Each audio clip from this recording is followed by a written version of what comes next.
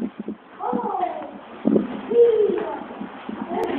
old they are and how many they're reindeer. The guy and the other guy,